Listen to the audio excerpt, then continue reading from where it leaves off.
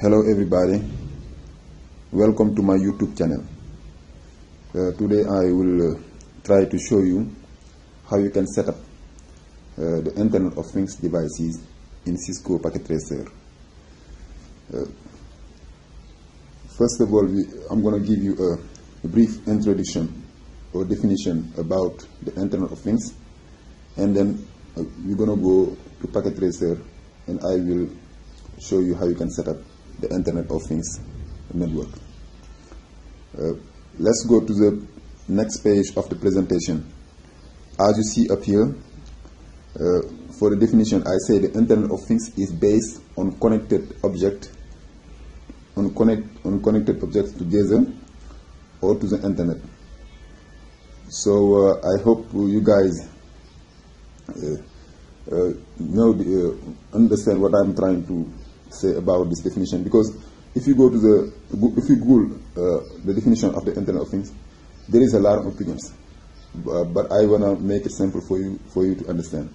And after that, I say from all these connected objects, the Internet of Things make it possible to build a network of uh, of objects you can control remotely, and the objects are uh, most of the time called smart things. So if you heard if you hear the word smart things, put in mind that we are uh, talking about the Internet of Things. And usually the Internet of Things is abbreviated uh, as IoT. So uh, let's go to the next page of the presentation. So you can, I'm going to show you how, what you're going to, for the, for, for setting up the Internet of Things devices network. I asked the question up here, what do I need use packet tracer. First of all, you will need what we call a home gateway or a registration server. And after that, you're going to place your IoT devices uh, that will connect to the registration server in order to register themselves. So uh, let's go right now to packet tracer and I will show you all these things in action. So uh, you will need uh, the Cisco packet tracer version 7 in order to accomplish this task you have to put that in mind. So if you have uh, the previous version of uh, Packet Tracer, those previous version uh, don't, don't support the Internet of Things devices. They don't come with the Internet of Things devices. So just understand that. So once you open up Packet Tracer, for you guys that don't, that don't have Packet Tracer version 7, I ask you to download that. It's, it's free and you can go to the uh, Cisco Network, Network, Academy or the net the NetAcad uh, website in order to uh, download and uh, install Cisco Packet Tracer version 7. I already made a video about that. So now, in order to in order to to set up Internet of Things devices, you will come up here, like where up here is say uh, say end devices. You click on end devices. And once you click on end devices uh, up here you see this uh, second icon up here. It say home. If I click on home you see there is a of uh, object. Those objects usually that's the object you will have in your house or in your home. So uh, that's the reason why when I put the definition I say object but usually those objects we connect and we call them uh, smart things. Those objects are the physical objects usually we have in, in our home or in our environment. environment. So, uh, like up here you see, we have a ceiling fan. It's a ceiling fan. Let me go. We have AC up here. We have what we call a door up here. We have a garage door. We have a home speaker. You, know, you have a light up here, and so on. You know, this is all uh, usually the object you will have in your house. So now uh, the, the, interesting about this, now instead of, usually we, you understand that uh, when we set up a network, we usually connect routers, uh, switches, firewall, stuff like that, and, and, and PCs. But now the Internet of Things has changed the way we connect, we are connected because now we are connecting devices that we never think that uh, should be uh, we should able to connect those devices like the objective you, you use in our in our home or in our industrial environment or in our city. So that's the reason why up here you see smart city. You can create a smart city. You can create an industrial. So like um, if I click up here industrial, you will see the object you will use in an industrial environment. Smart city, you will see the object up here. And uh, there is a lot of uh, object in this version of Packet Tracer. So now let's go to the home. I'm going to try to make a simple uh, uh, Internet of Things network. So I'm going to grab up here a ceiling fan and I'm gonna I'm gonna grab up here that's the last last object up here in, in this list a window and I will put up here and in order to connect this if you are using packet tracer you can use either a home gateway the home gateway you will you uh, they, those devices will connect to the home gateway wirelessly but for this video I will show you how you can connect it using a registration server for a registration server you will need to come up here on end devices up here. You click on end devices and you take a regular server. You know, you take a regular server up here, and this server have uh, uh, can be a registration server. And in order to show you that, let me hook up those uh, devices first. So I'm, I'm going to place a, a, a switch. I'm going to need a switch up here. So let me grab a 2960 switch. And now I'm going to connect those devices to the switch. Uh, uh, like, uh, like you used to do in, in a, uh, when you are setting up your local area network. Uh, there, there is uh, nothing fancy up here or something. You usually do the, this thing. So I'm going to connect the registration server. I'm going to connect it to the to the switch I will connect this up here. You always, always choose the connection that say uh, the connection that say automatically choose the connection type because it's going to simplify uh, your setup. So I'm going to connect the window to the switch and the ceiling fan I'm going to connect it to the switch too. So now once you connect those three devices to the switch, what you will need to do is to open up the, uh, the server up here. So and I'm going to show you how you can make this server a registration server. You're going to go to to this tab up here that says service, that says service up here, services, and you, you, you go down uh, where it says IoT. You click up here, IoT, and you see it's a registration server. But right now this registration server is off, so you have to click uh, uh, up here on on to turn on the registration server. So, so I hope you guys know that. So now after that, you will come up here to desktop. You go to IP configuration and you will give an IP address to the server because just like a regular network, all these devices will need an IP address in order to the to talk to the to talk to each other. So I'm gonna take this IP address. I'm gonna do five dot five dot five dot one as the IP address for the uh, registration server. And uh, uh, after that, you will come back to desktop and we're going to go to the web browser. We're going to try to access this this server since we give them we give him we give it an IP address already. So I'm going to do five dot five dot five dot one and excellent. As you see, this page is the page for the registration. But uh, if you uh, read up here on the bottom, it says don't have an IoE account, sign up. Now you have to sign up for this uh, registration server in order to create a username and a password. So I'm going to click on sign up and it's going to ask me to create a username and a password. And to make it simple for this example, the username I'm going to choose John and the password I'm going to put I'm going to choose uh, Cisco. I will choose the Cisco and and I click on create and excellent and as you see up here as you see up here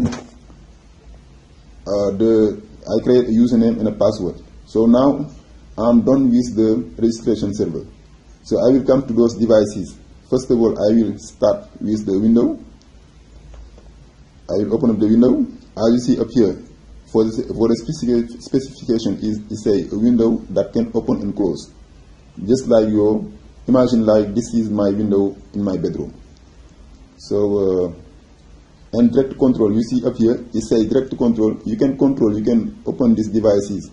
You can control these devices by using the Alt uh, plus uh, uh, left click mouse on your keyboard in order to uh, open or close the window. And in order to prove you that, if I come up here, I press Alt and the left click, you see the window is open. If I press again, it's going to, it's going to close. So that's how you can uh, manually turn on or turn off or control those devices. Uh, same thing with the ceiling fan. So in the ceiling fan, if I press this up here, Alt, you see the ceiling fan is gonna, you know, because there is two, there is low and high, and if I press up here Alt, and and the uh, left mouse click, is gonna uh, turn off the, the ceiling fan. So I hope you guys know that. So uh, let me open up the windows up here again. And now you're going to go to the config tab up here. And uh, you will go to the FastEthernet. And we're going to have to give an IP address uh, to this uh, uh, device, uh, to the window device. So I'm going to do 5. They must be on the same network as the registration server 5.5.2 for simplicity. And now I will come back up here to the config tab and you're going to scroll down uh, uh, to like where it say IoT server. So where it say IoT server, you're going to uh, choose where it say remote server. Don't choose home gateway because we are not using a home gateway. So I'm going to do remote server. I'm going to, uh, it's to ask me the IP address for the re remote server that means the registration server 5.5.5.1 and the username we create you have to put that that's that was John and the, the, the password is Cisco as you see up here and I will click on connect once you click on connect you see once it say refresh that means the connection is the connection is good that means this uh, uh, Windows AD uh, register to the uh, to the remote server or to the registration server. And in order to prove that, let me open up the registration server. I will go back to the let's go back to the web browser. So we will uh, go access the this server 5.5.5.1. That's the IP address. It's going to ask us the username we, we just created. That was John, and the password is Cisco. So I will sign in and excellent you see up here it say IoT devices 9 that's the name of the devices and it's a window. Excellent. And if you see up here if I uh, if I come up here you see now the windows uh, when you see up here the red uh, uh red, red uh, the thing is red up here I mean the win window is now closed. So and in order to prove you that let me come up here. Hold on one second. Move this thing up here a little bit up here. So the windows is closed if you click up here you see excellent the windows is open so this means that if you uh, register your devices I mean your windows in your bedroom you can open your window without moving a step you can sit on your couch and, and open your, your window without moving a st a steps. So this is the power of, of the Internet of Things. The Internet of Things will allow us or will simplify the way we live in. So because as you see in this example, I can open and close my window without moving a step. I can be in the in the kitchen and if I feel that I want to open my uh, windows, if I have a laptop, for example, that, that is connected to my registration server, I can access my, I can open my window without moving a step. So this is very powerful. So uh, the same thing, we're gonna uh, try to register this uh, ceiling fan to the to the remote server. So let's open up the ceiling fan. we're going to do the same process. We're going to go to the config tab, FastEthernet appear, and we're going to give an IP address. The IP address is going to be uh, 5.5.5.3 for simplicity. And let's come back to the config tab up here. Let's scroll down and you will choose where it say remote server. We're going to give the IP address for the registration server. That five, that five, that uh, one. That's the IP address for the registration server. The username, as, as you know, it is John, and the password is Cisco. Excellent. And once you click on connect up here, once you click on connect up here, as you see, it say refresh. Once it say refresh, that means the connection is good. So let's uh, now uh, uh, go back to the registration server. As you see up here, excellent, it say ceiling fan. That means the ceiling fan is registered. So that's how you can register all your devices in an Internet of Things network. So you will need, uh, as I say, registration server or a home gateway. Uh, the, the, the thing is the same. So the registration is very simple. Now once they register, now for the ceiling fan, we can, there, there is two but three button up here. This is the off button. Now right now the ceiling fan is off. So if I click on low, you say the ceiling fan start, uh, uh, start moving. If I click on high, it's going to move a little bit faster. So uh, this is uh, the, I, as the same thing I can turn my ceiling fan without moving a step. Imagine uh, I sit on my couch and I can turn on my ceiling fan using my registration server.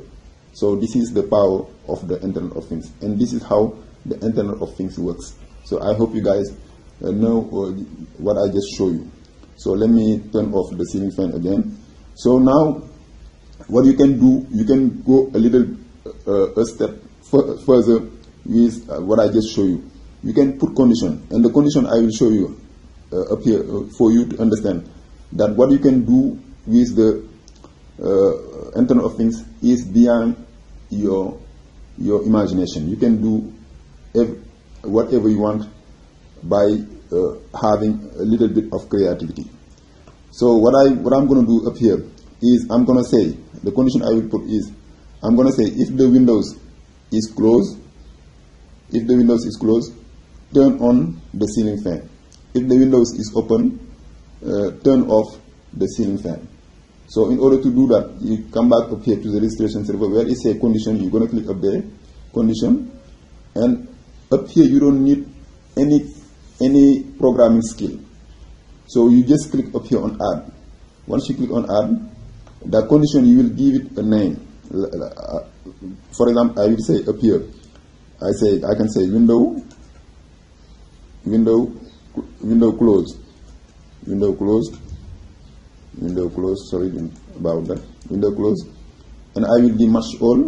And the first condition I will put, I'm going to uh, choose the, the window, uh, the the devices uh, that is IoT uh, IoT 9. That's the Windows because I see here it say IoT 9. I will do IoT IoT 9, and I will give on. On mean if the Windows is open. So I'm going to put uh, uh, choose false false means if the Windows is closed, and I will do set.